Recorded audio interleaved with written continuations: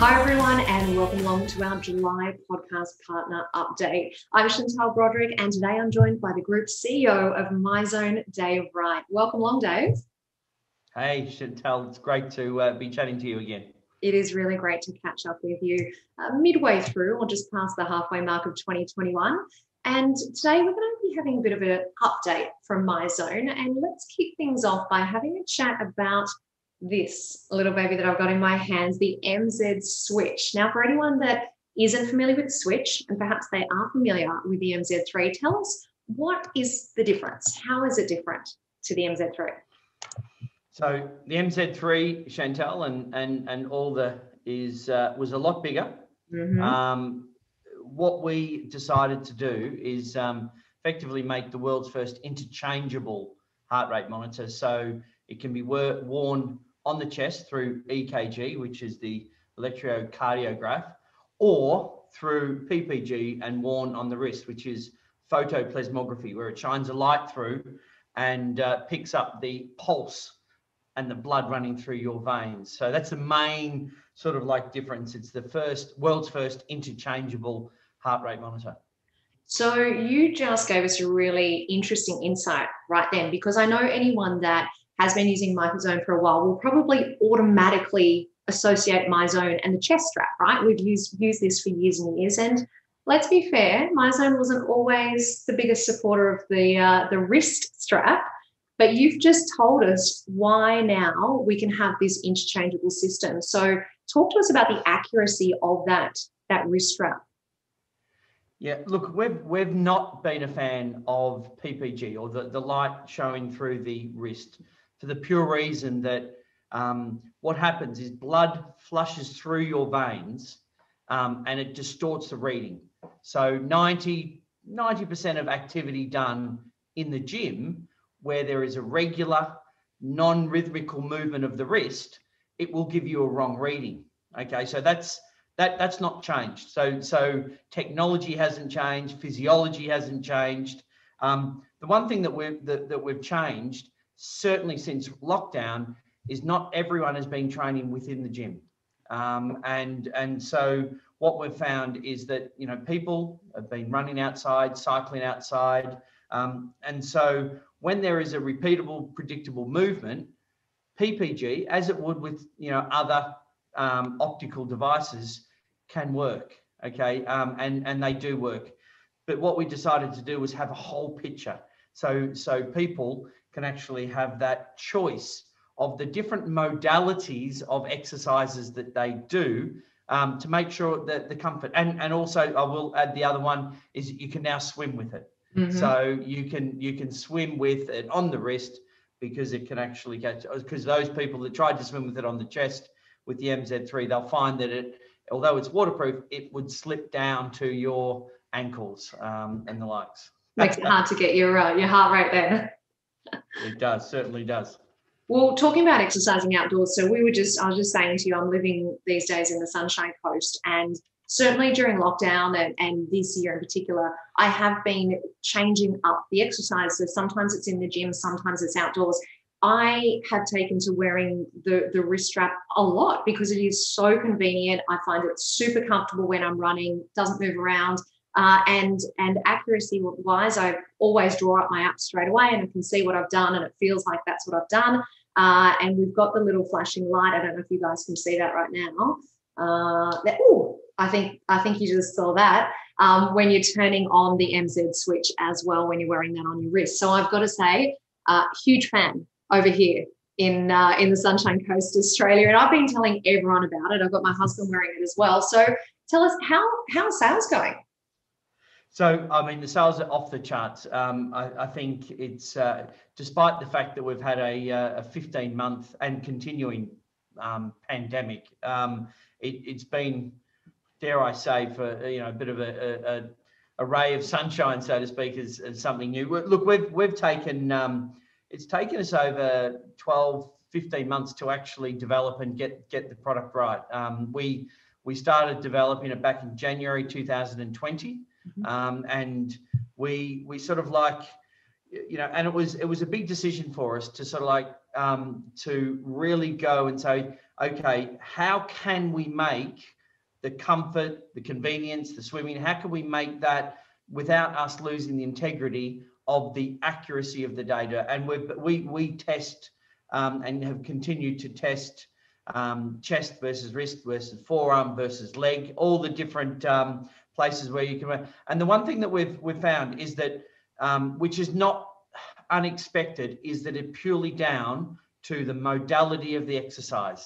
If you squeeze kettlebells, if you're doing, or if you're doing a boxing session and the likes, you can't wear it on your wrist or your forearm. I mean, you, you can, but it's not going to be as accurate. And that's the same with the switch. It's same with any device. So the, the, the hardest thing that we have, Chantal, is to try and educate the operators and also um, the end users to sort of like go, okay, understand the modality of the exercise. If you're playing tennis, I played tennis on uh, on Wednesday, um, and I had it on my left wrist. So I had my switch on my left wrist um, because I know I've tested it. It doesn't go on your gripping, you know, holding the racket wrist. Um, but it's more comfortable than necessarily wearing it on the chest. And it depends if you're going for a walk with the family or if you, you know, if you're going to go for a bike ride, um, then it, it, works just, you know, butting it on the chest, pressing the button and you're away. But if you're going to get in doing a functional training session, if you're going to go in some lifts and brick, always stick with the chest. So, so, you know, it's, it's a, um, it is a matter of education and, and, um, and weighing up that that sort of like comfort um, versus the the uh, the actual the use case. Yeah, and, the, and and as I said, the comfort, like for me, it's definitely played played a big factor, and the convenience as well. So so a little while ago, when I caught up with Emma, we had a brief chat about MZ Remote, but I know that not everyone is going to be familiar with MZ Remote. So do you want to talk to us a little bit about exactly what it is and what the difference is between MZ Remote and MZ Remote Plus? Yeah. So so when lockdown kicked in, what we realized is that a lot of people were training from home. So a lot of a lot of people were um, exercising from home, and we've always said with MyZone is that you can use MyZone to stay connected with your members, whether they're within the four walls or outside. And we we've we've got data to prove that a lot of not everyone just trains solely 100% within the four walls of facility. It, it's it's just human nature. Um, so what we decided to do is when when lockdown kicked in, we were like, okay, so many people are trying to stay connected with their members. They've got a device that actually that they can see how hard they're working. And I mean, obviously, when we were all trying to work out what the best thing to do is, you know, when you're trying to do Zoom cycle classes and you say, show me your, hold up your phone and show me how hard you're working and all this. What we decided to do is we we decided to focus our development on creating a system so that um, it's sort of like everyone could be remote, but all their tiles appear on one screen.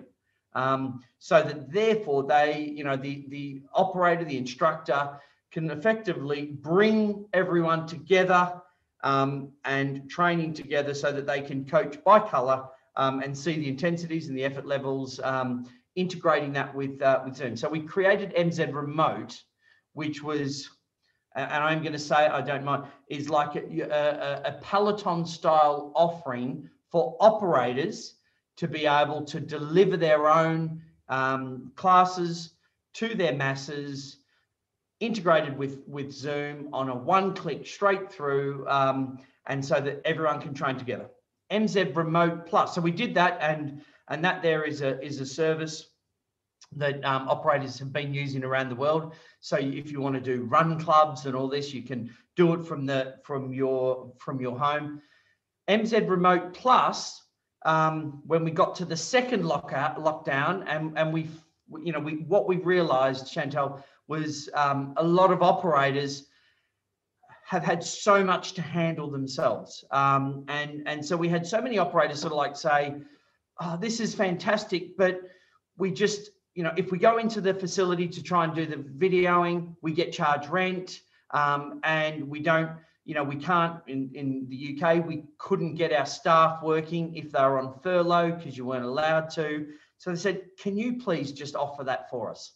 So we did. And so what we did is we did live stream classes. We've got about 700 pre-recorded classes as well.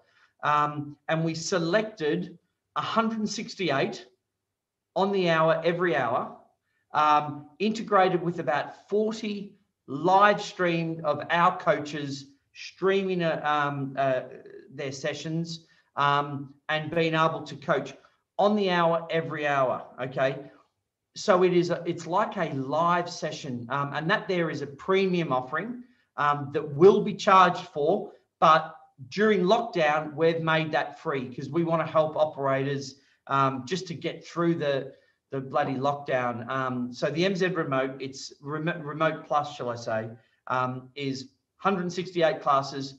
You know, so any time of the day you can jump on, and you could be training with people from around the world. Um, and, and it's live. It's live training with people on the around the world with pre-recorded, and we've made it so that a in, an operator can interchange and say, "Oh, do you know what? Chantal takes an absolute cracking cycling class of a 5.30 of a Thursday. Let's pull out the MZ, the MyZone MZ remote pre-recorded session, and then let's slot Chantal's session in there. So it, it, it effectively brings the world, um, you know, generic classes integrated with the localism of the operator as well. That's amazing. So members get to experience uh, some instructors from all across the world, some different different experiences, different uh, accents as well. Uh, that sounds incredibly exciting. So if one of our operators right now is watching this and they want to know more, I assume that they just need to reach out to their local account manager wherever they are in the world. Is that right, Dave? That that's right, Chantal. And say like I mean, obviously we were just talking beforehand. Australia's sort of like gone into a further lockdown it's just a phenomenal opportunity to speak to the, the local account manager and say, can you please switch that on? So that therefore the whole, you know, that if it's locked down for two weeks, three weeks, four weeks, every single one of your members has got access to classes and they can be training together, you know, do a Saturday morning killer cardio club. Well, I mean, we've had 150 to 180 people on the screen all going through the greens and yellows together. There is nothing more, nothing more engaging on a, um, a remote perspective. Um, and it's it's now the way that we've done it as well. Mm-hmm. Um, it, the way that we've, we've set it up is that the coach, uh, everyone can see everyone's tile, so they everyone can see everyone's tile, and it just pops up into the app where they can share it and beam it up to a TV. Um, the instructor can see the participants if they want to. So if the participant wants to turn on their camera, they can. But when they turn on their camera, the only person that can see them is the instructor. Right. Okay. So I mean, as, we all as we all know that you know there's and there's different um, you know thoughts out on there. You know, the one thing that we had in all the research with my own gyms and and the likes is you know not everyone wanted you know if they wanted to have a workout they didn't want everyone seeing into their lounge room. It's a bit different if you go down to the gym, but um, you know, some people just they're, they're like, okay, do you know what? I just rather see what Kelsey's doing. She can, you know, or if I'm doing kettlebell swings, I can turn my camera on so that she can see the form. Yep. And only her can see the form. Um, but I can see everyone's effort levels, and uh, and that there is, I, I mean, it's it's no one in the world's ever done that um, in that degree, um, and it's it's incredibly um, it's incredibly motivating. I mean, it's it's a great way to uh, to train. I was just about to say, I imagine that that really enhances that sense of community, even though they might not necessarily be in the same physical location, but you have that that motivation and that community and that camaraderie that's associated with the effort that's going into whatever that that class or that activity is that you're doing and, and we are just releasing in the next week. Um, so it's currently in test flight. So you might have 80 people on your screen. You can press one button and it will filter it to just your connections on the screen. Oh, um, cool. So which is which is incredibly uh, incredibly engaging to say, ah, Chantal's on there. Oh, I'm, I'm training with my friends. Um, but but Chantal, this is I, I I think as well.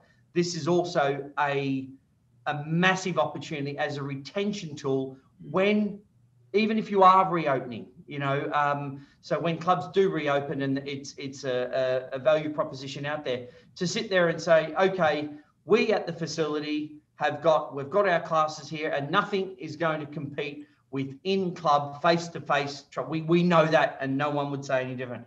But this is probably the second best thing. So as a retention tool you know to be able to sit there and say whether you add it onto your membership um, or as a bolt on or you basically say, you know, you know, with us at, you know, Chantal Fitness, you've actually, you know, we've we've got you covered, mm. um, and you know, we're supporting you. If you want to work out at three o'clock in the morning, we've got a session for you. Um, it might be a live stream session and motivating session, or even during the time, if you want to do a, a cardio session at 5:30, you can sort of like sit there and go, hey guys, just pop up your app and you are now training with people around the world. Um, so it's quite motivating. And that there as a value proposition, as a competitive advantage, and uh, and also fundamentally as a, a retention tool, I, I think is um, is paramount. Yeah, and I've got to say, Dave, I mean, we, we were just talking about it here in Australia. We've seen some of our states, Victoria in particular, who have gone in and out of lockdown and in and out of shutdowns. And, and what a great way this is to stay connected with those members and give them that reassurance that you're there. You know, they need to continue to stay active, continue to exercise. And when the doors do reopen, come on back in. But you've you've stayed connected during the, that uncertainty of, of lockdowns wherever, and I'm sure it's it's different everywhere in the world. But um, but what a great way to stay connected during those times.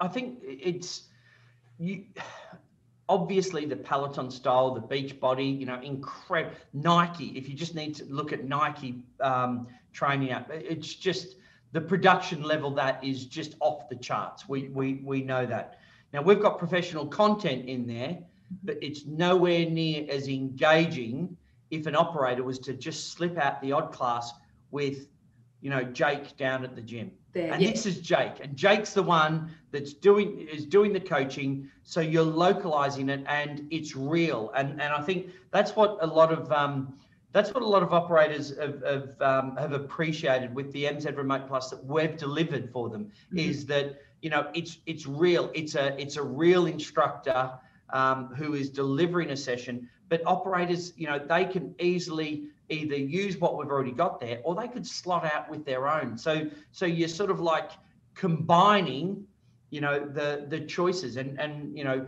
we all know we all know that that our members love our personalities they love you know the fact that oh that's chantal from the club you know i, I you know i want to i want to follow chantal from the club and that's and that's the uh the the the, the big thing with that, if that yeah, makes sense. Absolutely. I love the idea of, uh, of localizing that content or, or, dropping in those little gold nuggets yes. of, of, your, your instructors. That's awesome. So, Dave, we've kind of touched slightly on, on the lockdown situation. Uh, obviously, everyone around the world's in, in quite a different place at the moment. Um, we were just talking about the UK briefly. So, uh, in your opinion, what do you think?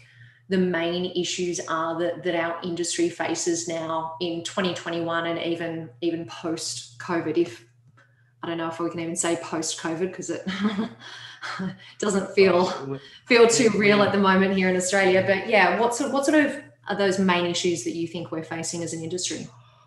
Look, I, I think people resource, believe it or not. Mm-hmm. Um, mm-hmm. people resource is a real big struggle for the industry. Yeah. Um, certainly, I mean, what we've seen in Europe, where a lot of a lot of people have been staff have been furloughed, so they've been paid a considerable amount of money to sit at home and then continue to earn self-employed personal trainers and, and the likes. I think um, and this is the same in hospitality. It's the same in in um, in in the retail or certainly in the leisure sector. Is is trying to get those people back. Now, arguably, um, does it mean that there is a issue to look at the pay gap? does it, you know, are we as an industry paying enough? Um, and you know, so I think you know that that's one thing that we you know we we sort of like need to to look at is basically saying should we be paying more for our instructors? Um, and I know certainly a lot of the gyms that I've spoken to around the world, they're you know some of their rock star um, instructors have gone, hang on a minute, I, I could earn a killing from the sunshine, well, from you know the Sunshine Coast or whatever, from home, literally delivering sessions around the world. Um, and so, so I think, but but I also think that might be a little bit short-lived. Um, and I think when the world gets back to normal, people are going to need people, but I think they'll also need engaging people. And uh, you know, before I mean, we've always said that, you know, as an industry, um, we we have to sort of like look at ourselves and what can we do to engage. I mean, the an example I always use is that the 2012 uh, uh, Olympics in London was the largest display of physical activity, um, sport and physical activity um, ever in the UK collectively. Yet the people that did the cheering and the welcoming were trained by McDonald's. So 75,000 McDonald's workers to welcome and and I, I sit there and go, why couldn't we why couldn't we have, have an as an industry said gone out to all the instructors around the world and say okay this is how you treat people this is how you welcome people and, and one of the big takeaways from the London 2012 Olympics was how welcome everyone felt. Mm-hmm. Yet we used McDonald's to do that because they did it right. Wow. Um, so I, I, think as a um, as a learning experience, you know, we as an industry really need to up our game on what makes that member engagement just so much more, you know, much much more, so to speak. Yeah. And what about if we have a look at post COVID from a MyZone perspective specifically? Is there anything that MyZone are doing now to prepare for what comes next? Yeah, so like like with the switch, the switch has been um, absolutely, um, and the MZ remote has been you know well well received. What we are now absolutely deep diving into is our metrics. Mm-hmm. Um, is is so our dashboards, our game mechanics, so that when we get out of the, the lockdown, we can really start focusing and helping operators by basically saying, okay, Mr. Operator, did you know that if someone goes from 1500 MEPs a month, 15, 1500 down to uh, 400, then 200, they're going to cancel their membership. So if we can jump on that mm-hmm. and jump on that, you know, uh, behavior analytics and say, now's the time to get them back in, um, to put a challenge in place, um, to really sort of like use nudge theory to, um, and also to educate the, the operators to say, hey, you've got someone here that, you know, they might be doing the same amount of swipes of their membership, but their whole physical activity um, pas- passion is dropping because we can see it for you and we can present that for you. You know, because you know, MyZone's whole objective is to help people feel good about exercise so that they stick to exercise, and that's the that's the whole um, you know that exercise adherence, that retention is a real focus. So so we've we've sort of like you know, of course, we've got the sports bras and the t-shirts that integrate with the switch that you can button on and, and the likes. But our big play now that the switch is launched is really deep diving into the data and the analytics so that we can actually help increase and nudge people to stay exercising further.